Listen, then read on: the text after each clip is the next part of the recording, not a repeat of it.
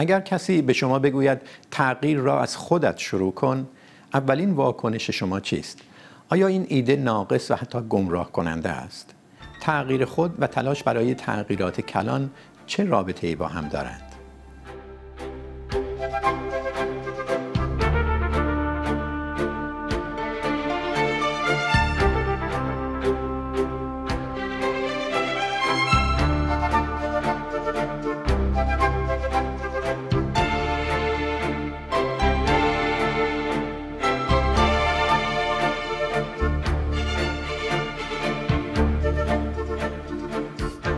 تغییر را از خودت شروع کن توصیه است که در موقعیت متفاوت به کرات شنیده می شود. گاه در مقابله با آرزه های عمومی مثل کرونا یا آلودگی محیط زیست برای یادآوری مسئولیت شخصی شهروند است. گاه در ارتباط با تلاش برای تغییر ساختار سیاسی به منظور گوشزد کردن اهمیت خودسازی و خودبهینه‌سازی فعال سیاسی است. گاه خطاب به سیاستمدار برای خاطر نشان کردن این انتظار عمومی است که شعار باید در عمل و زندگی شخصی او هم بروز یابد. در هر یک از این بسترها توصیه از خودت شروع کن. تأکیدی است بر اولویت تغییر در سطح فردی بر تغییر در ساختارهای کلان سیاسی و اجتماعی. آیا این توصیه بیراه است؟ آیا اگر شهروند و سیاست پیشه و دولتمرد و حتی در بعدی کلانتر اگر ملتی بگوید از خودمان شروع کنیم نتایج بهتری حاصل نمی شود؟ ولی اگر مزنونانه به این توصیه نگاه کنیم چه؟ در برنامه این هفته امید شمس حقوقدان در بریتانیا معتقد است که این شعار که از خودت شروع کن گمراه کننده است و سیاست گریز اما ایقان شهیدی پژوهشگر اندیشه سیاسی در دانشگاه کمبریج می‌گوید نباید از سویه های مثبت چنین توصیه قافل ماند و باید بر اونها هم تاکید ورزید. خیلی ممنونم. آیه شمس به ما بگید چرا اینقدر مزنونید به این شعار؟ برای اینکه اگر خب همه در سطوح مختلف شهروند سیاستمدار فعال سیاسی سوژه یا فرد اخلاقی یعنی کسی که داره با دقدقه های اخلاقی برمیره در مورد زیست خودش در ارتباط با خودش و دیگران. اگر همه این رو یه جوری پیشه می‌کردن اجتماعات وضعیت بهتری نداشتن.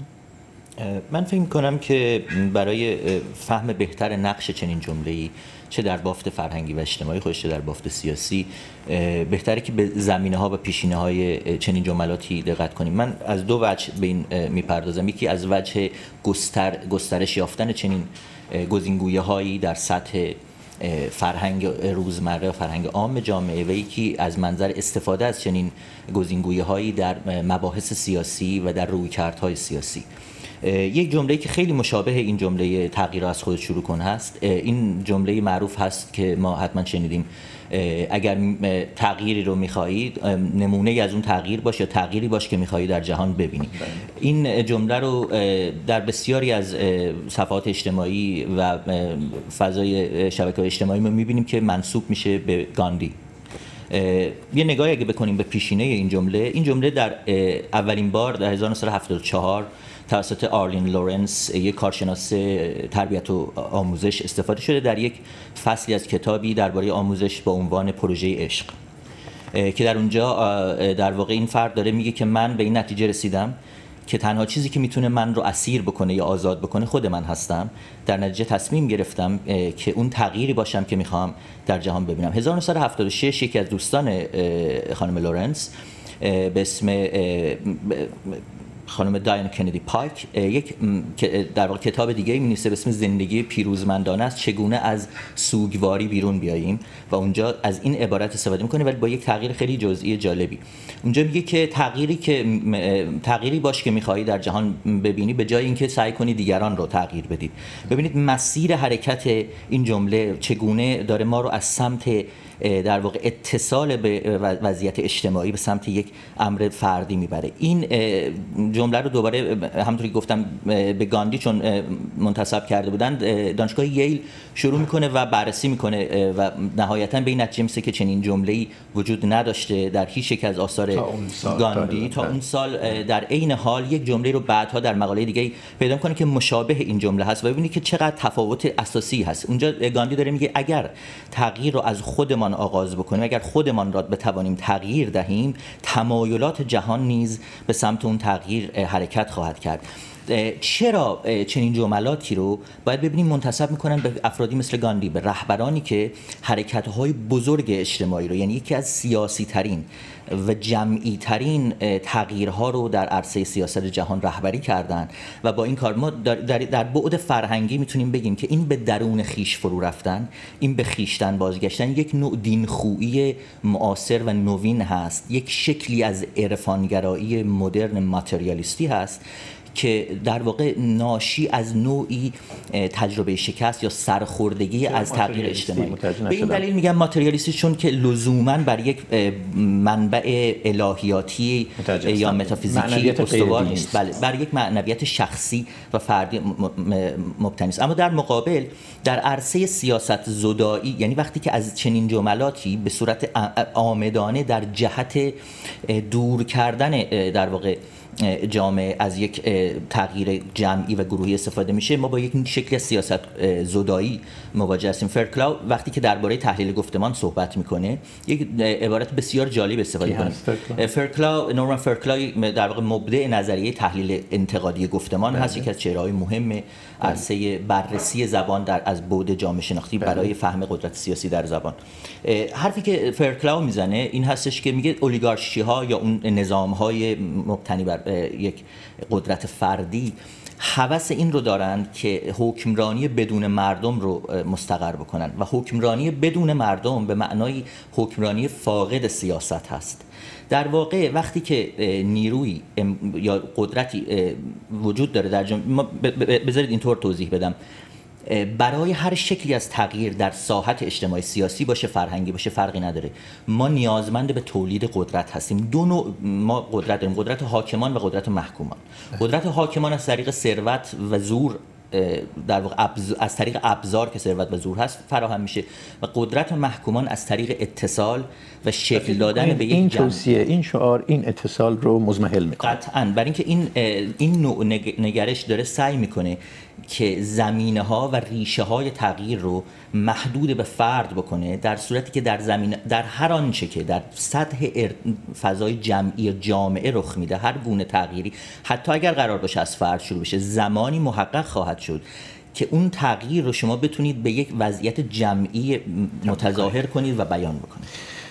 آقای شهیدی شما چرا فکر می‌کنید این شعار این توصیه اینقدر هم که آقای شمس میگه بد نیست و مخرب نیست. بله البته این موضوع من فکر می‌کنم خیلی بستگی به تعریف ما از تحول فردی برمیگرده که حالا فکر می‌کنم در طول برنامه دربارش صحبت می‌کنیم. ولی به طور کلی در تو با پرسش اصلی شما که برای داشتن یک تحول اجتماعی پایدار ما بعد از فرد شروع کنیم یا عاملین خرد یا حتی از ساختارهای اجتماعی من فکر می‌کنم به دلیل ماهیت پیچیده جهان اجتماعی به طور کلی هر دو روی کرد برای داشتن یک تحول اجتماعی پایدار لازم و ضروری هستش. یعنی هم روی کرده معطوف به شخص خود بین سازی شخص خود و هم معطوف به ساختارهای کلان. درسته. با, با تعریف خاصی که البته از هر کدوم از اینها باید بشه. به نظر می‌رسه در طول تاریخ هم که ما نگاه می‌کنیم چه تجربه تاریخی ما مثلا جنبش های مختلف یا حتی انقلابات مختلفی که رخ داده در طول تاریخ از یک طرف نشون داده که چقدر هر تو امانیت این دو با هم مهم هست. یعنی هم تحول فردی و هم تحول ساختاری رو ما باید مد نظر قرار بدیم. چطور می‌تونید بگید؟ بله ما در طول مثلا ما نگاه که می‌کنیم به خیلی از جنبش هایی که مثلا در آمریکا جنبشی که برای رفع تبعیضات علیه سیاهان بود. اون قوانین جیم کرو رو می‌خواست که نقض بکنه از که موفق هم شد سال 1965 بله. بعد از اون اتفاقی که افتاد این بود که چون همراه با تحول در سطح فردی نبود و این, این توانایی رو نداشت که اصولا توان افزایی بکنه افراد رو در سطح قاعده جامعه که بتونه خصوصیات اخلاقی عادتهای فکری یا حتی الگوهای رفتاری متفاوتی که همراستا هست با این ارزش ها و اصولی که علیه نجات پرستی هست رو در خودشون نهادینه بکنن ما می‌بینیم که مسئله نجات پرستی همچنان یک مسئله عمده در آمریکا هستش. این از یک طرف هست یعنی تجربیات تاریخی ما ما رو به اینجا رسونده. یعنی فکر می‌کنید اون فعالین اون محافل اون نهادهایی که می جنگیدن برای حقوق سیاهان اینها به خودسازی چندان توجه نکردن درسته من واژه خودسازی رو به کار نمی‌برم. یا تغییر از خود بله من, من فکر می‌کنم ما باید راجع به تحول فردی عمیق‌تر صحبت بکنیم چون دقیقا انتقاداتی که آقای شمس کردن من هم باش همدل هستم نسبت به تحول فردی و من اون رو اصلا تحول فردی نمی‌دونم مثل اما عرفان گرایی که اشاره کردن یا مراقبه فردی یا هر نوع تمرکزی مثلا که منجر به حتی گوشه‌نشینی یا عزلت گزینی فردی درک شما از این توصیه که از خودت اول شروع کن اگر تغییر ساختاری می‌خوای چجور درکیه که متفاوت با مراقبه عرفان نمی‌دونم چیزهایی که تو این رده میگنجه؟ درسته. من فکر می‌کنم که ما وقتی راجع به تحول فردی صحبت می‌کنیم خب طبیعتا این این روی کردهایی که دربارش صحبت کردیم هیچ کدومش مد نظرمون نیست بله. ولی اون چیزی که مد نظره به نظر می‌رسه ما نیاز به توان افزایی افراد در سطح قاعده جامعه داریم طوری که اونها بتونن یک خصوصیات اخلاقی جدیدی رو در خودشون نهادینه کنن و عادتهای فکری و الگوهای رفتاری که منبعث از نمی‌دونم صدها سال شاید اون جا افتاده بوده و همیشه رایج بوده اونها رو بتونن بزداین از خودشون برای اینکه بتونن به جای اینکه تماشاگر منفعل تاریخ باشن به بازیگران فعال تاریخ تبدیل بشن. و اصولا این این تمرکز بر روی فرد یعنی تحول فردی اساسا یک اقدام فردی نیست. یعنی محصول برنامه‌ریزی جمعی هست. باعث توان افزایی میشه توان افزایی توده مردم و این افراد می‌تونن عامل تغییر باشن. یعنی خودشون به عنوان بخشی از اون تحول اجتماعی که لازم داریم می‌تونن در نظر گرفته باشن. البته من این نکته رو هم عرض بکنم که ما در این حال برای اینکه یک تحول اجتماعی پایدار داشته باشیم نیاز داریم که علاوه بر اینکه بر روی تحول افراد تمرکز می‌کنیم و بخشی از برنامه ما برای تحول اجتماعی هست بر روی تحول ساختارها هم فکر بکنیم و برای اون برنامه‌ریزی بکنیم. آقای شمس خیلیا میگن که اگر شما فرد رو فراموش کنی به گفته ایشون عامل تغییر فرد دیگه. در واقع داری موکول می‌کنی تغییرات در سطح فردی رو به زمانی که ساختارهای سیاسی و اجتماعی دگرگون بشن. بخصوص در ایران کم هزینه نداده. چنین نگاهی مایه هزینه های بزرگی شده دیگه. ما کم نداریم سیاست مداران فعالین سیاسی کسایی که تحولات بعدی بعد از اینکه ساختاری عوض شد نشون داد که اینها واقعا مثل اینکه نمی‌تونستن عامل تغییر باشن برای اینکه خودشون چندان به قول افوا مایه‌ای نداشتن. خب بذارید روی همین مثال شما و به خصوص این بخش آخرش صحبت بکنیم و پس زمینه ببینیم. مثال زدید از ایران وضعیتی که یک تحول عظیم سیاسی اجتماعی رخ میده و ما و شما معتقدید که اون سیاست مدارانی که میان و با دایه تغییر اومدن عملا چون خودشون اون تغییر رو در درون خودشون درون نکردن. من فقط مناسب سیاست مداران هم نکردم. کنشگران سیاسی از هر طرف به نظر نمیاد. الان که به عقب نگاه می‌کنیم آماده بودن. اجازه بدیم من به یک کلیشه دیگه ای اشاره بکنم که خیلی نزدیک هست به این بحث ما. این سوال اساسی که آیا فرهنگ هست که برای مثال آزادی و دموکراسی میاره یا سیاست آزاد و دموکراتیک هست به اعتقاد من این همیشه سیاست آزاد آزادی است که با خودش فرهنگ میاره. برعکس چرا از این یعنی فرهنگ نیست که ساختار رو عوض می‌کنه بلکه ساختاره که فرهنگ. بله چرا؟ با مصداق عرض می‌کنم خدمتتون. ببینید مسئله مدارا رو در نظر بگیرید. یک یک رفتاری است که هم مبتنی بر اخلاق هست یعنی نوع اخلاق رو داره نمایندگی می‌کنه و هم مفهومی سیاسی است.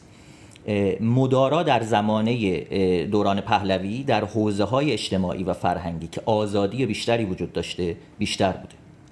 در فضای جامعه پس از انقلاب 57 که فضای مدارا کم میشه خفقان بیشتر میشه.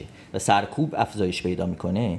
شما می‌بینید که مدارا برای مثال مدارای فردی که از اون قوانین مطلق ظاهر یا فرهنگ اجتماعی تحمیل شده پیروی نمی‌کنه در درون جامعه هم کم میشه. مدارا اساسا رابطه با سیاست داره. از این چه نتیجه می‌خوام بگیرم؟ می‌خوام بگم بله. اخلاق می‌خوام بگم هر آنچه که ما به عنوان یک رفتار فردی در نظر می‌گیریم حتی اون الگوهای رفتاری که آقای شهیدی به درستی اشاره کردن اونها برآمده از یک وضعیت جمعی سیاسی هستن اون نظام سیاسی که فعالین سیاسی می‌خوان باش بجنگن اون نظام سیاسی در اشخاص عملا باز تولید میشه. این هم مسئله دیگه. یعنی اگر مثلا ما مثال خیلی خوبی از یک فعال سیاسی که واقعا تغییر در ساختار کلان رو با تغییر خودش همراه کرد نام ببریم نلسون ماندلاست آیا نلسون ماندلا نشون نداد که شما نمی‌تونی بگی که تغییر رو از خودت باید شروع کن. نلسون ماندلا در جریان مبارزه برای تغییر ساختار سیاسی بود که نلسون ماندلا شد. بله. بله این مطلب درسته. من من فکر می‌کنم یک موضوعی که ما باید بهش در اونم در نظر بگیریم وقتی می‌خوایم به این سوال بپردازیم اینه که تحولی که دربارش صحبت می‌کنیم اساسا فقط منحصر به تحول سیاسی نیست. یعنی وقتی ما صحبت از تحول اجتماعی می‌کنیم ابعاد مختلفی داره و وقتی صحبت از تحول اجتماعی پایدار می‌کنیم صحبت از گونه از تحوله که پیشرفتش وجود داره یعنی به سمت آزادی هست به سمت عدالت بیشتر هست به سمت اتحاد بیشتر در جامعه هست. همونطوری که یک کودک امکان داره رشد می‌کنه از نوجوانی گذر می‌کنه و به جوانی می‌رسه و این, این یک مسیر برگشت ناپذیر هست این مسیر تحول. یک مسیر یعنی تحول فرقش با تغییر همین هست. در تغییر ما می‌تونیم برگردیم به عقب. در تغییر که جزئی تر هم هست خیلی از عناصر جزئی رو ما می‌تونیم عوض بکنیم. ولی در تحول ما پیشرفت رو شاهد هستیم. اون چیزی یعنی که در... شما باشی میگید تحول رو از خودت شروع کن. چنین خواهی گفت. بله آیا من, این... تحول فردی رو هم استفاده کردم بله. دائما. تحول فردی رو از خودت شروع کن. آقای شمس میگه که این به سیاست گریزی منتهی میشه. درسته. این بستگی داره به روی کرده ما به تحول فردی. یعنی اگر روی کرده ما همطوری که فرمودن اگر روی کردی باشه که صرفا فرد رو متمرکز بر خودش بکنه بله این می‌تونه منجر به سیاست گریزی بشه. البته وقتی ما در رابطه با تحول فردی صحبت می‌کنیم به هیچ و... به هیچ وجه به معنی رفع مسئولیت از سیاست مدارها نیست. این این راجبی یک جنبه از تحول اجتماعی پایدار ما داریم صحبت می‌کنیم. یک یک بود دیگه ای که این تحول فردی داره به نظر می‌رسه اینه که این تحول فردی به تنهایی رخ نمیده. در ما برای اینکه رشد بکنیم برای اینکه تحول پیدا کنیم چون با هم در ارتباط هستیم باید با هم حرف بزنیم. و وقتی ما یک گروهی از افراد هستیم که یک آرمان ها و ارزش داریم باید به صورت جمعی تر یعنی ورای ماهیت فردی ما بتونیم با هم حرف بزنیم در یک اجتماع های کوچیکی مثل کامیونیتی بله. که ما جمع بشیم در اون کامیونیتی ها که ما بتونیم تبادل تجربه بکنیم تبادل اندیشه بکنیم اونجا یادگیری های خودمون رو در راه اون مسیری که داریم میریم برای اینکه اون ساختارهای ظالمانه رو بخوایم عوض بکنیم با هم سهیم بکنیم. و این کامیونیتی ها اصولا خودشون یه این اجتماعات کوچیک این اجتماعات کوچیک. می‌تونه حزب باشه می‌تونه یک محفل باشه می‌تونه یک نهاد مدنی باشه. منظور شما این این اجتماعات کوچیک خودش عامل تغییر هست. یعنی من می‌خوام برگردم به سوال اولیه که وقتی ما صحبت از این می‌کنیم که تحول اجتماعی پایدار چطوری اتفاق میفته از فرد یا از ساختارها من می‌خوام بگم یک دوگانه دوگانگی کاذب هست که در فکر ما وجود داره. چرا ما یکی رو انتخاب بکنیم؟ چرا دوتا نه؟ و چرا اصلا قائل به نقش کامیونیتی یا اجتماعات کوچیک بله. نباشیم؟ آیا شمسه چنین نیست؟ آیا وقتی ما راجع به تغییر رو از خودت شروع کن صحبت می‌کنیم منظور این نیست که شما در تعامل با دیگرانی که خیلی نزدیک بهت هستن هم رزم هستن در خونواده هستن مثلا اگر شوهری چطوری با بچه ها و همسر رفتار می‌کنی؟ اگر رهبر یک حزب سیاسی هستی با اونهایی که زیر دستت هستن چطوری رفتار می‌کنی؟ اگر نمی‌دونم سیاست مداری هستی که شعارهای اون چنانی میدی زندگی خودش طور و این زندگی خودت در واقع در یک مجموعه ای تر میشه دیگه یعنی در ارتباط با دیگران. و کم نبودن فیلسوفانی در قرن 20 که وقتی از خود صحبت می‌کنن میگن خود در تعامل با دیگری مثل یاسپرس مثلا. این خود خود خالی که نیست. خود در تعامل با دیگریه. دقیقا. منم منظورم همین بود. از اینکه در واقع من نقش فرد رو فارغ از تعامل عملا نمی‌تونم درک بکنم چگونه می‌تونیم تحلیلش بکنیم. این هستش که حتی آن درک حتی فردی ترین و شخصی ترین ارزش ها و نظام های ارزشی که برای هر انسانی مد نظر هست برایند تعامل اجتماعی او برایند موقعیت سیاسی او آیا این سیاسی کردن قضایا نیست به اون معنی رایج که معنی مضمومه در واقع؟ مثال بزنم. ما ممکنه در این بحث در چند سطح صحبت کنیم. ممکنه در مورد شهروند صحبت کنیم. همجوری گفتم مثلا آلودگی هوا. و بگیم که تو شهروند خودت هم مسئولیت داری. اگه ما به این شخص اینو نگیم به نظر شما نتیجه چه خواهد شد؟ ممکنه به فعال سیاسی همجوری گفتم بگیم که ببین در مناسبات با دیگران چطور هستی؟ اون وقت برو به جنگ قدرت سیاسی. اگر ملت ما در همین برنامه پرگار یه بحثی داشتیم راجع به 28 مرداد. یکی از مهمان ها گفت که عوامل خارجی درست اما خود ما چی؟ از خودمون باید یعنی نگاه به خودمون بکنیم ببینیم نقش ما چی بود. اینا همه می‌تونه در واقع کنه حتی انقلابی هم داشته باشه نه؟ یا اشتباه می‌کنم؟ ولی لزوما به معنای ببینید هر سخنی که گفته میشه برای اینکه ما بتونیم روابط اون رو بفهمیم با بافت سیاسی و اجتماعی باید ببینیم که در چه پیش زمینه ای و با چه موقعیت سیاسی از سمت گوینده داره. گفته میشه به چه گروهی به عنوان شنونده یا دریافت کننده گفته میشه و موقعیت اجتماعی فرهنگی سیاسی اونها.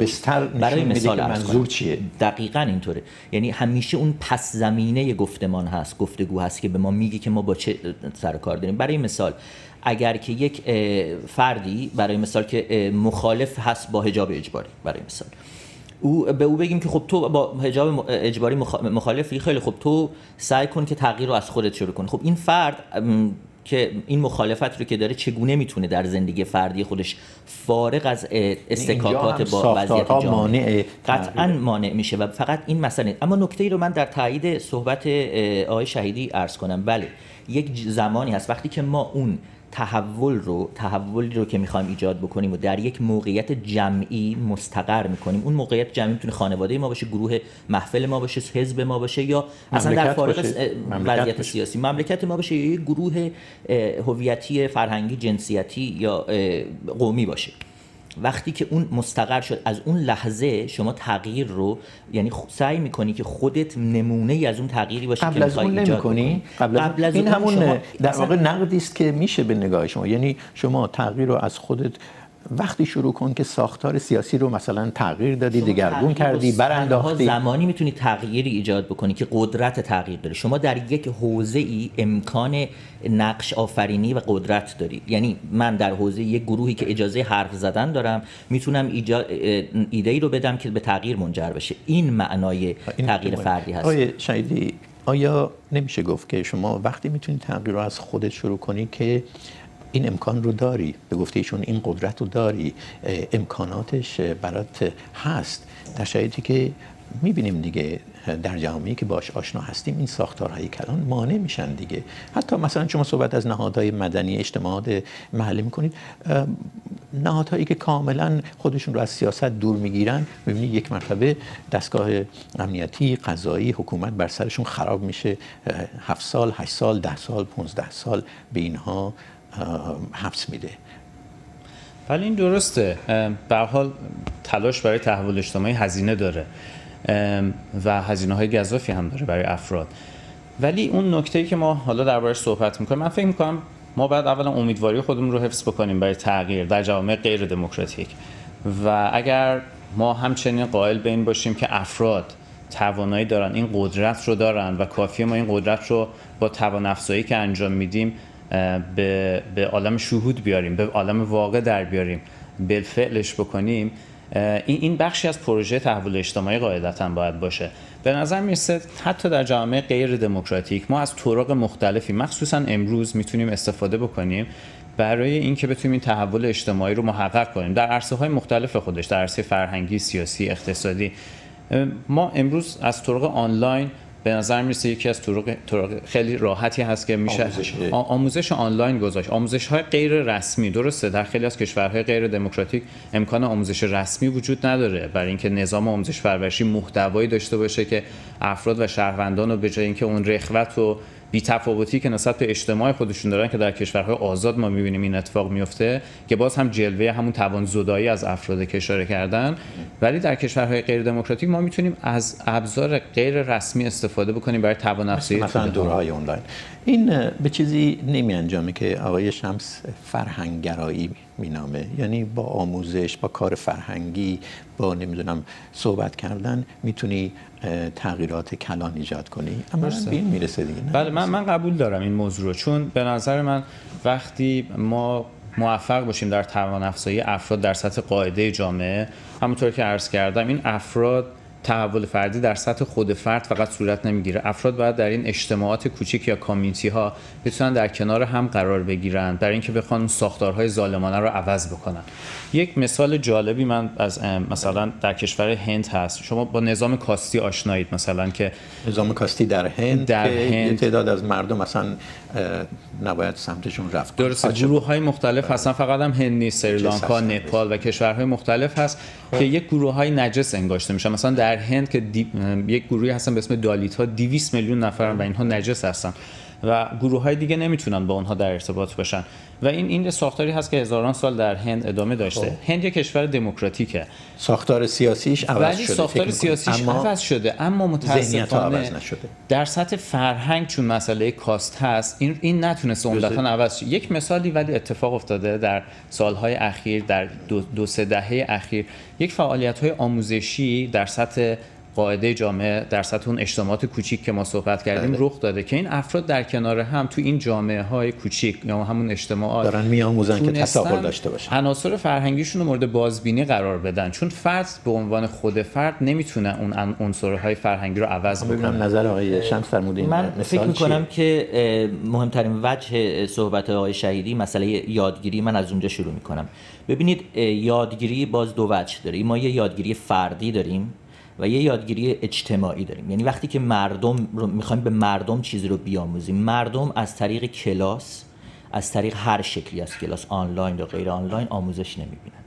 مردم از طریق مشاهده و مشارکت آموزش می‌بینن. این اتفاقا یک که مهمترین آموزه های جنبش بلک پنترز پلنگ های سیاه امریکا هست از جنبش های مبارزه با نجات پرستی در امریکا. مشاهده و مشارکت چگونه عمل می‌کنه؟ شما فرد همتون از رهبران بلک پنترز میگه که شما یک مشکلی دارید در یک اجتماعی که مردم از اون مطلعن. شما میرید و اون مشکل رو به یک شکل مشخصی حل می‌کنید. مردم مداخله نمی‌کنن. مردم وای میسن کنار شما رو تماشا می‌کنن. بار دوم شما میرید مشکل دیگه ای رو حل می‌کنید. بار سوم مردم دیگه منتظر شما نمیشن. مردم مشاهده کردن حالا مشارکت می‌کنن. خب این که این روش آموزشه. خب این که میشه همون فرهنگگرایی متا با این دوز لنینی. برای اینکه این... یه آوانگاردی هستن میرن یه کارایی می‌کنن مردم عقب ایستادن و نگاه می‌کنن بینا و میآموزن از این آوانگاردا از این از این اما تفاوت بله مسئله این هست. مردم مردم در یعنی در مواجهه با امر نو یا در مواجهه با یک تاکتیک اجتماعی یک تاکتیک تغییر دهنده اجتماعی یا سیاسی در وجه اول بلا فاصله مشارکت نمی‌کنن. این اون مرحله ای هستش که جامعه و بله. گروه کوچک یا فرد می‌خوام بگم که بله یک وجهی وجود داره برای تغییر فرد یا تغییری که از یک جمع کوچک به یک جمع بزرگ میسر میشه سرایت پیدا یه مثالی بریم که خیلی دیگه باش آشنا هستیم. خیلی هستن که در ارتباط با ایران وضعیت سیاسیش بافت اجتماعیش میگن که ما در درون خودمون یه جمهوری اسلامی داریم. بیایم اول به خودمون نگاه کنیم بعد جمهوری اسلامی رو ببینیم چطوری میشه باش کنار اومد کنار نیومد تغییر داد نمی‌دونم برانداخت. ولی ابتدا ببینیم جمهوری اسلامی در درونمون داریم. فکر می‌کنی این شعار خیلی بیراهه؟ به اعتقاد من این شعار در معمولا در بستری استفاده میشه که منظورش سیاست زدایی است. یعنی مثل این میمونه که شما یک مشکل اساسی دارید و اون اینه که در آب هستی دارید غرق میشید. و یک نفر بیاد به شما بگه شما درسته که الان در آب هستی و داری غرق میشه اما شما شنا کردن بلد نیستی. این مشکل شما. شما بیا اول الان شنا کردن یاد بگیر. بعد این باعث میشه که شما غرق نشی. خب شما داری غرق میشی توی آب که وقت شنا کردن نیست که شما باید اول این مشکل رو از سر راه برداری تا بعد بری و به دنبال این باشی. یعنی بعد امکان این رو پیدا خواهی کرد که بری شنا, شنا کردن رو بیاموزی. بحث من درباره فرهنگ و سیاست در سر اینه. من میگم تا تالرانس وجود نداشته باشه تا آزادی وجود نداشته باشه که وضعیت جمعی رو به سمت یک یک وقفه در اون تنش ها و استکاک ها پیش ببره شما امکان این رو نداری که اصلا بازبینی درونی بکنید بازبینی درونی یا همون تحول فردی که آقای شهیدی میگن دو حالت داره. یا پیش از فاجعه رخ میده یا پس از فاجعه. شما به ژاپن نگاه کنید. ژاپن نماد یک تحول فردی و جمعی پسا فاجعه است.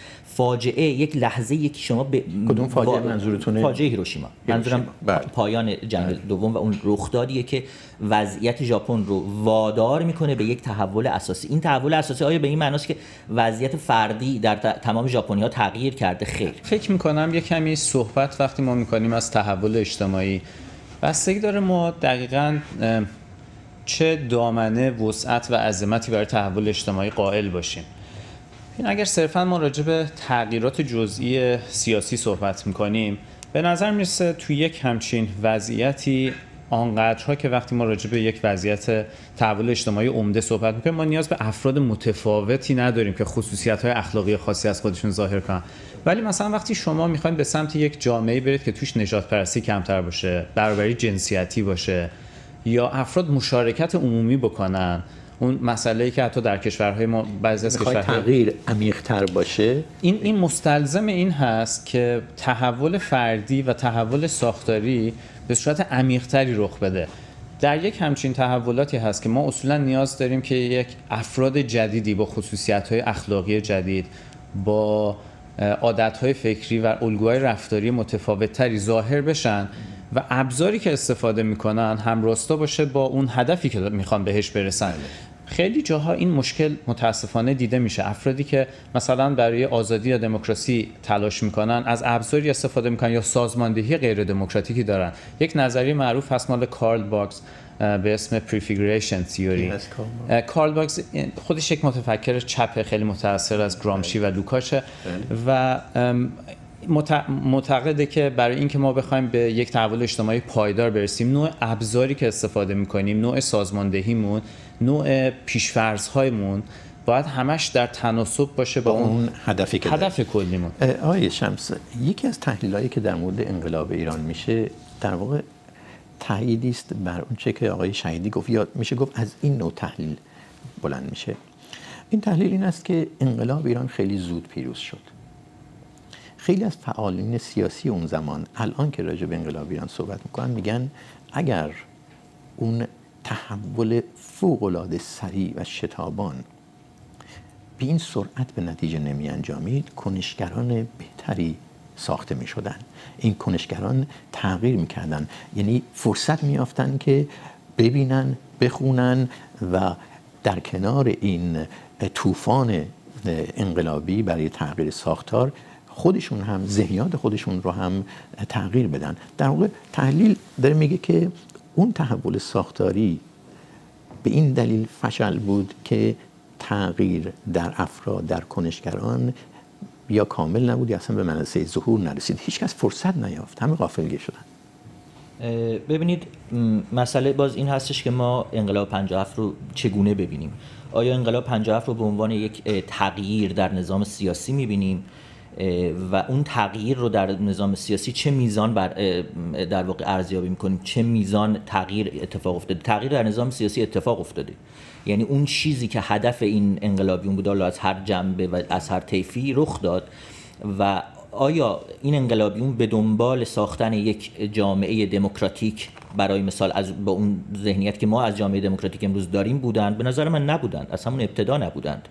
اصلا یعنی دیرتر هم انقلاب به نتیجه می دیرتر هم انقلاب اگر به نتیجه با این بازیگرانی که در صحنه بودند نهایتا منجر به یک وضعیت دموکراتیکی که امروز مثلا مردم ایران به دنبالش هستن نخواهد بود به چندین دلیل. یک زمانه باز عرض می‌کنم هر رخداد اجتماعی و سیاسی در بستر خودش بر بستر اجتماعی و تاریخی خودش. زمانه ای که در اون این رخدادها شکل گرفته اصلا زمانه ای بوده که در واقع یک تناسبات و اقتضاعات متفاوتی داشته با امروز. اصلا آگاهی اجتماعی و سیاسی به ویژه آگاهی اجتماعی و فرهنگی ما.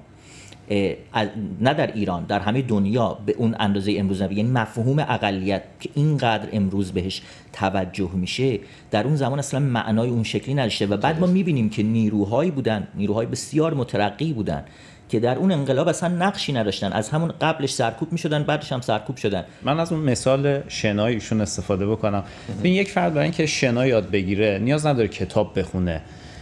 نیاز هست که در عرصه عمل بتونه اون شنا, شنا کردن رو یاد بگیره و یک فضایی لازم داره که استخر هست. افراد شنا کردن در دریا یاد نمی‌گیرن. باعث میشه نیرو مزمحل بشن. این کامیونیتی های اجتماعات کوچیک یک جایی این هست. استخرها. این استخرها یک جایی هست که ما این توانایی های فردی خودمون رو در با یادگیری و به اشتراک گذاشتن اون دانش با هم سهیم می‌کنیم. حالا دانش می‌تونه دانش حاصل از مبارزه برای مثلا رفع اون ساختارهای ظالمانه باشه. از فعالین سیاسی اسم این چیزی که شما رو مشغول می‌کنه تو این برنامه و بهش برمیگردید اسم این رو می‌ذاره توان افزایی جامعه. یعنی میگه که در مبارزه برای تغییر ساختار سیاسی ابتدا جامعه رو توانمندتر کنیم. درسته. من با هر گونه تقدمی فکر می‌کنم این یک کمی تقلیل گرایانه است. ببینید ما راجع به افراد راجع به های این اجتماعات کوچیک و راجع به ساختارها داریم صحبت می‌کنیم. توان افزایی یعنی افزایش ظرفیت هر کدوم از این سه و تحول در هر کدوم از اینها لازم هست. تو امان با هم. اون اتفاقی که خیلی جاها میفته ما یک تحولی رخ میده و بعد برامون ناخوشایند میشه. به خاطر این هست که خیلی وقتا دو تا دلیل عمده رو می‌تونیم براش بگیم. یک دلیل اینه که اون نیرو و قوای فردی مورد سوء استفاده قرار می‌گیره و روبوده میشه.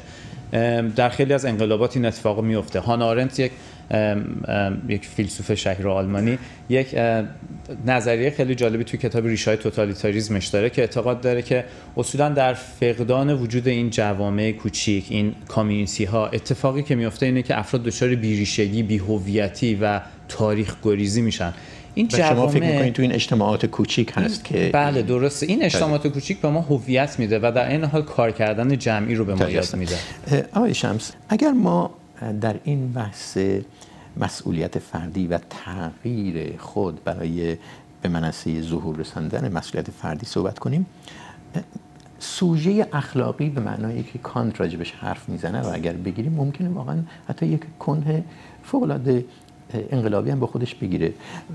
مثالی که به ذهن من می‌رسه کسی است که چند سال پیش در همین لندن من باش صحبت می‌کردم و به نظرم خیلی آدم سالمی بود خیلی آدم فریخته بود آدم بی‌نقصی میومد گفت من روز نیست که با بعضی از قضاوت ها و داوری های خودم نجنگم. دست خودم رو خیلی از اوقات رو می‌کنم.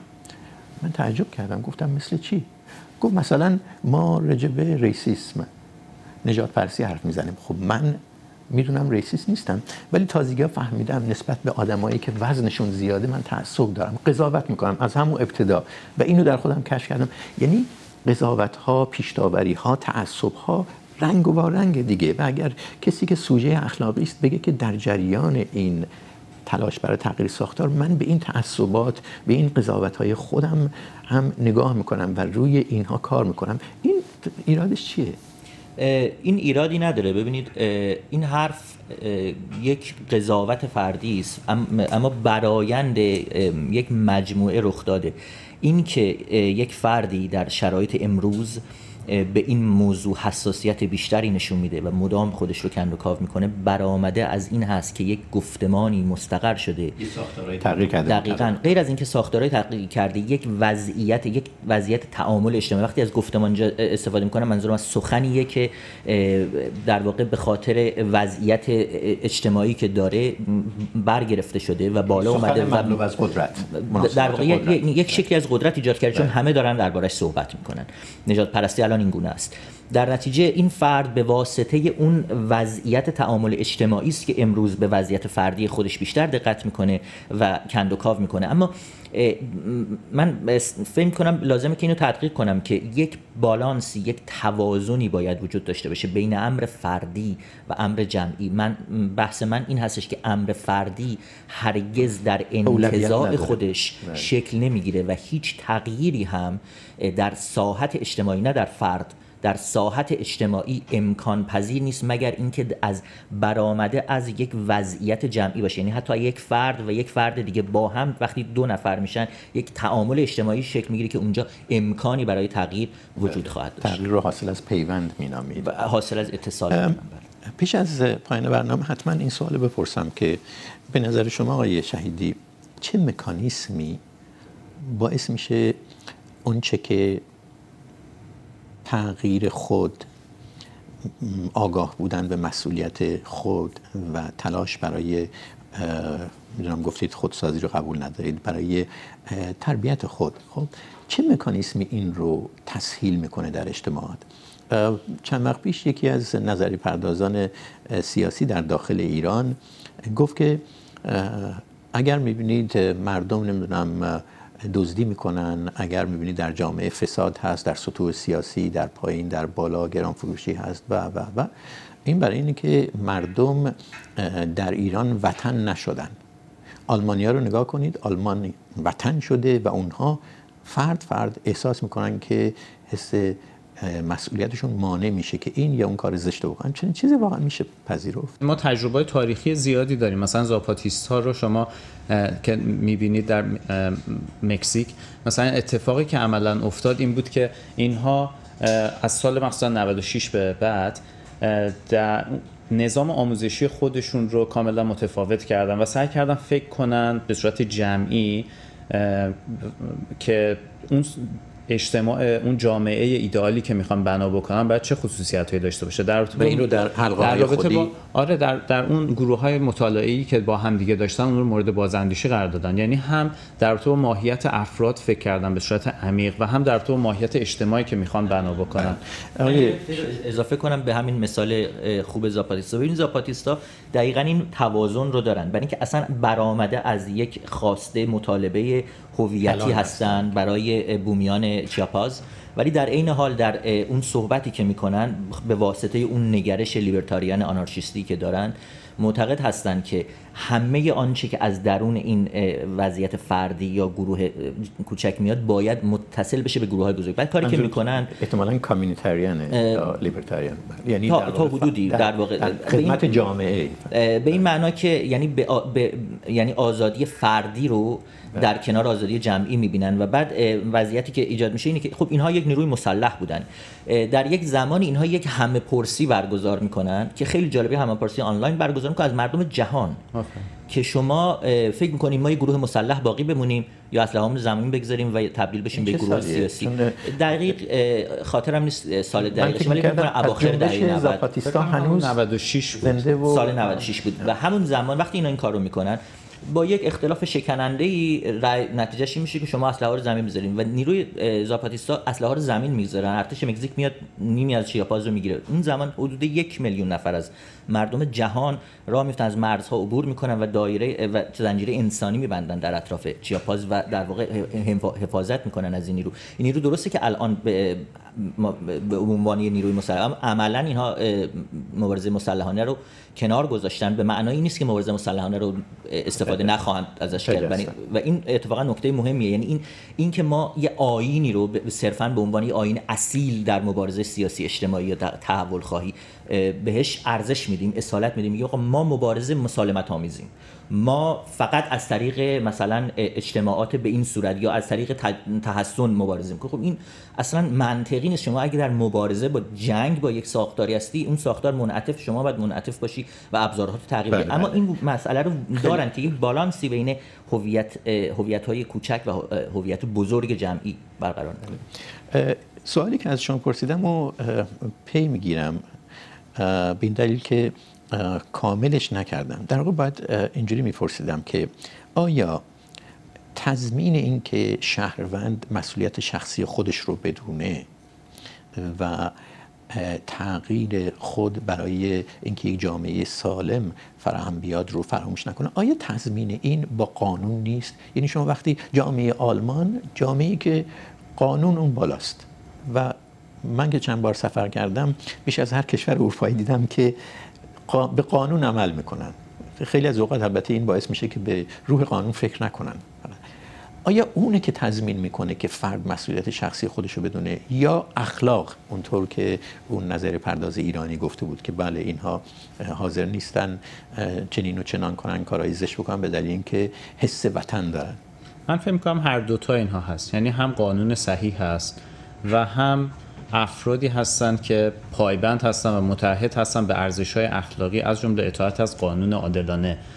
و توی این کشور ما می‌بینیم که چطوری نظام آموزشی داره حمایت می‌کنه افراد رو. بهشون یاد میده که شهروندانی مسئول باشن در این حال تلاش بکنن برای اینکه مشارکت اجتماعی بیشتری داشته باشن. ولی این بچه اخلاقی خیلی بچه مهمی هست به نظرم و این نظام یعنی آموزش پرورشی نباید پریز کرد به اسم اینکه قانون مشخص درسته. کنه. اخلاقی که ما صحبت می‌کنیم دربارش اخلاق فعاله نه اخلاق منفعل. می‌دونید؟ یک اخلاقیه که اتفاقا فرد رو وادار می‌کنه و کمک می‌کنه که بیاد مشارکت اجتماعی بکنه. متاسفانه در خیلی از کشورهای اروپایی علیرغم اینکه قانون درسته ولی باز هم ناتوان بودن از اینکه اون نخوت و سستی که بر افراد هست رو بتونن کنار بزنن و افراد مشارکت بالایی بکنن در حیات اجتماعیشون. با اینکه جامعه مدنی وجود داره. می‌بینیم که درست عکس اون چیزی است که انتظار میره. مثلا وقتی این ماجرای کرونا راه افتاد خیلی هجوم بردن به سوپرمارکت ها و برای همینه که آقای کریمی خیلی بزرگی پر کردن از بطری پلاستیکی آب. دقیقا برای همینه که من فکر می‌کنم ما وقتی راجع به تحول فردی صحبت می‌کنیم صرفا راجع به یک شهروند خوب بودن صحبت نمی کنیم در رابطه با اصول و های اخلاقی صحبت می کنیم که باید توسط نظام آموزش پرورشی در افراد نهادینه بشه. این هم فقط از طریق مطالعه و آموزش نیست از طریق تلاش برای به عمل در آوردن و عملیاتی کردن اون اصول و ارزش ها و آرمان ها و اخلاقیات هست. همون مثالی که شما در آلمان زدی خب اگر پایبندی مطلق به قانون باشه خب میشه آیشمن. یعنی آیشمن در اون لحظه ای که از خودش دفاع می‌کنه میگه من عینا داشتم قانون رو عمل می‌کردم بهش. ببینید این اون لحظه ای هستش که ارزش یک پرسشگری فردی اهمیت پیدا می‌کنه. اما اون پرسشگری فردی نتیجه چیه؟ ببینید ما در تمام این صحبت هایی که به جای خوبی رسیدیم. آیا مثال آیشمن آقای شمس؟ نقض نمی‌کنه این بنیاد فکری که شما دارید ایجاد الان توضیح میدم چرا. من مثال خوبی از کسی که به شما به قانون فکر می‌کنه وظیفه شناس مسئولیت رو خوب می‌دونه به قول هانا آرنت این یک مهره بسیار عالیه برای اینکه یک سیاست های اجرا بشه. به این فکر نمی‌کنه که خب برای اینکه اینجوری پرورش پیدا نکرده برای اینکه با خودش برخورد نکرده. به این فکر نمی‌کنه که خب من این کارو می‌کنم عاقبتش چی میشه؟ من فکر می‌کنم که دقیقا این من تناقضی در این نمی‌بینم به این دلیل که ببینید وضعیت یک فردی مثل آیشمن اگرچه که ما میگیم که خب این به عنوان یک فرد مسئولیتی داشته که از خودش پرسشی بکنه و قطعا اینطور هست. اما اون اون پرسشی که این فرد باید از از خودش بپرسه از کجا باید بیاد؟ اون ارزش هایی که بر اساسش باید سنجیده بشه از کجا باید یعنی اون بیاد؟ اون پرسش رو نه از خودش بلکه از این مثلا ساختاری که نازیسم را انداخته از این یعنی اون, که اون فضا اون اون فضای استیلای یک ایده خاص به عنوان ارزش که ایده مرگبار و سرکوبگر و ترسناک است به حدی جامعه رو کاملا تقریبا به طور مطلق در بر گرفته و در واقع اقناع کرده که جایی برای پرسش متفاوت باقی نمی‌گذاره. من نقش جمع نقش اجتماع نقش ساختارها و از همه مهمتر نقش قدرتی که می‌تونه این اجتماع رو مهندسی بکنه. همونطور که ما امروز می‌بینیم بحث از مهندسی فرهنگی و اجتماعی چقدر هست در کشورهای توتالیتر از جمله ایران این اون نقش هست که اصلا به شما اجازه میده که برداشت فردی سوال, فر... سوال از خیشتن یا ارزش های فردی خودتو بازسازی بکنی یا نکنی بله. چیزی باید وجود داشته باشه که از دل گفتمان جمع و گفتگو میاد و اون هست که فرد رو نهایتا به جایی میرسونه که امکان اینو داشته باشه که تغییری در درون خودش هم ایجاد بکنه. مثال منو بله. من من موافق هستم. یعنی فکر کنم اصلا پرورش تفکر انتقادی بخشی از اون توان افزایی افراد هستش. یعنی اون نظام آموزشی قاعدتا بخشی یعنی یه نظام آموزشی ایدئال بخشی از کارش باید پرورش تفکر انتقادی باشه. حالا من امروز بیشتر در رابطه با تحول فردی صحبت کردم. ولی اجازه بدید در رابطه با ضرورت تحول ساختاری اون هم نه ساختارهای اقتصادی یا سیاسی در رابطه با ساختارهای ذهنی صحبت بکنیم چون یک اتفاقی که خیلی باعث تحول اجتماعی میشه بازاندیشی در بعضی از ساختارهای مفهومی وجود داره که ساختارهای جمعی هست که باز هم بر جوامع حاکم در هست. در این برداشت شما مثلا سنت رو یک ساختار بله. یا, یا مثل مفهوم دین. می‌دونید خیلی اینکه یک جامعه ای چقدر صلب باشه و بسته باشه. این مفهومی که ما از دین مراد می‌کنیم در اون جامعه و فهم عمومی یعنی گفتمان عمومی نسبت به دین خیلی خیلی تاثیر داره. یک اتفاق خیلی جالبی که ساموئل هانتینگتون توی کتاب موج سوم دموکراسیش ازش صحبت می‌کنه اینه که در خیلی از کشورهایی که بعد از جنگ جهانی دوم به سمت دموکراتیزاسیون رفتن چه کشورهای پروتستان و چه کشورهای کاتولیک به ترتیب در موج دوم و موج سوم دموکراسی. اتفاقی که افتاد این بود که اینها تونستن عمیقا در رابطه با مفهومی که از دین داشتن به بازاندیشی بپردازن و دین رو به عنوان یک عاملی برای حفظ وضع موجود کنار بذارن به عنوان عاملی برای تغییر و تحول بهش نگاه بکنن. یک اگر بازاندیشی بشه در مفهوم دین یا به عبارت سریعتر خانش متفاوت از دین ارائه بشه این به نظر شما می‌تونه تغییر در ساختارهای کلان رو تحصیل بکنه. دقیقا. این واقعا میشه گفت برای اینکه این دیگه کاملا واضح در مورد ایران صحبت می‌کنیم. در 20 30 40 سال اخیر درست از فردای انقلاب این خانش های جدید از دین و مفاهیم پایه فقه و دیگر بخش های دینی دیگر آموزهای دینی شروع شد. چقدر واقعا تاثیرگذار بوده در تغییر ساختارهای کلان از طریق تغییر در نگاه افراد؟ تا اونجایی که دین ابزاری برای تولید قدرت باشه که هست فرقی هم نمی‌کنه چه دینی. ببینید ما وقتی از دین حرف می‌زنیم باید این رو تدقیق کنیم که داریم از چی حرف می‌زنیم. آیا داریم از یک ایده درونی اعتقاد درونی حرف می‌زنیم که حالا به هر شکلی می‌تونه باشه. یا داریم از استقرار به قول هگل از استقرار شریعت برای یک دینی حرف می‌زنیم. یعنی از یک ساختاری صحبت کنیم که کارش تولید قدرته. این ساختار وجود داشته. این ساختار برجسته تر شده برجسته تر شده متورم تر شده و تبدیل شده به همه چیز یک حیات خب. اجتماعی. آقای شهیدی میگه به چالش کشیدن این خانش به چالش کشیدن این وضعیت یعنی تورم دین این خودش در واقع ساختار جدید ممکنه ایجاد قطعا اینجا چالش به چالش کشیدن ولی من فکر آقای شهیدی نکته دیگه ای رو هم اشاره کردم. اون بود که شما می‌تونی از دین به عنوان ابزار حفظ وضع موجود استفاده کنی یا به عنوان ابزار تغییر وضع موجود. من معتقدم که به طور عمومی اگر دین تا پیش از اون ابزار حفظ وضع موجود بوده دیگه شما نمی‌تونید ازش به عنوان ابزار تغییر وضع استفاده بکنید. بله اگر دین در موقعیتی بوده که اون قدرت ظاهر حالا چه در ساعت اجتماعی فرنگی یا سیاسی نداشته شاید بتونه چنین نقشی داشته باشه. ولی به محض اینکه دین بدل شده به ابزار تولید قدرت شما اولین کاری که باید بکنی خلع قدرت از اون دین هست. خلق قدرت از اون ساختار. حالا اون دین وقتی ما داریم ازش حرف می‌زنیم می‌تونه اون یک ایدئولوژی باشه. چنان که ایدئولوژی هایی داشتیم که این گونه بود. مطلب خیلی مطلب دقیقی البته. من همدل هستم. چون ادیان مخصوصا با گذر زمان عمدتا به عاملی برای حفظ وضع موجود تبدیل شدن. وقتی در که آقای شمس کردن این بود که خانش جدید از دین در مرحله بعد از به پایین کشیدن ساختاری است که از اون دین استفاده می‌کنه برای اینکه مناسبات قدرت رو دقیقا. یعنی شما کلیسا رو می‌بینید شکست می‌خوره کلیسا کامل کنار میره از بعد نوع جدیدی از مسیحیت. بعد راهی باز میشه برای اینکه حالا بازسازی بشه یا کلیسا آره. البته مثلا هانتینگتون توی همین کتاب موج سوم دموکراسیش صحبت از این می‌کنه که بعد از توافقات جدیدی که در کلیسای کاتولیک روم اتفاق افتاد و خانش های جدیدی که از دین اتفاق افتاد در مجموعه کشورهایی شروع شد یعنی این انقلابات رخ دادن. یعنی تاثیرگذار بود و متقدم بود به اون. شاید اینجا که می‌رسیم باید بگیم که قضیه مرغ و تخم مرغ. نه یعنی خانش های جدید از دین بستگی داره که چقدر بتونن موفق باشن. ساختار تغییر کنه و در این حال ساخت اگر ساختار تغییر کنه ممکنه یک مرتبه صد دیوار راه باز بشه برای اونچه که در مسیحیت اتفاق افتاد. یعنی درسته. که هم از جای دیگه شروع شد و مسیحیت هم ناچار شد کنار بیاد درسته. هم خانش جدید از دین قدیم در طول تاریخ نشون داده که می‌تونه کمک بکنه به این تحول اجتماعی و هم ظهور دین جدید. یعنی ما اگر نگاه می‌کنیم مثلا مسیحیت که ظاهر شد به نظر می‌رسه بنیادهای یهودیت رو تکان میده. در همون قرون اول مثل یک جنبش انقلابی داره حرکت می‌کنه.